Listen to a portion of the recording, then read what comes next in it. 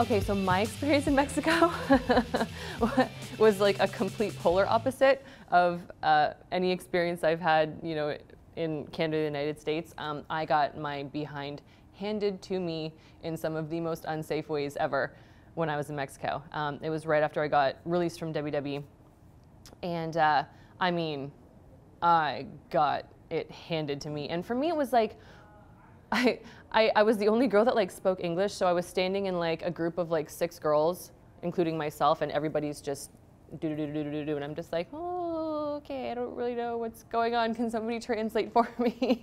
and uh, um, to me, it felt like it was different because he, it's not so much like character stuff and taking something and selling. It's just like boom, boom, boom, boom, boom, boom, boom, go, go, go, go, go, go. 20 minutes, like go. And you know, we're more used to much more of like a show aspect of it. You know, take your time with this and be like this. But this was just like spot move, spot move, spot move, take a move, roll the ring, get back in, spot, spot, spot, all kinds of stuff. And I noticed that some things, and I don't know if it was just the girls or how the matches were put together, they were like hitting each other with chairs like in the first two to three minutes of the match and then doing like tackle, drop down, leapfrog leading into the finish. So that was just like kind of backwards for me.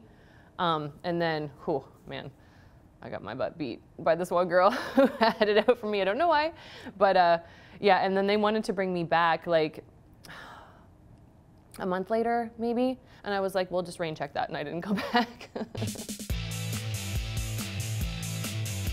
I know I had heard um, from somebody that the person that brought me in and kind of smartened me up was like, they're kind of iffy on these American girls uh, because a lot of those girls have done Japan and they do Mexico and they literally just go bananas and we're not like that. So I don't know if it's like a taking liberty kind of thing or they just don't know or it's just it's just something that's different and it just didn't click at that time. I just don't know if it just was not the right time for me to go there or how the scene was there in Mexico. It was so foreign to me.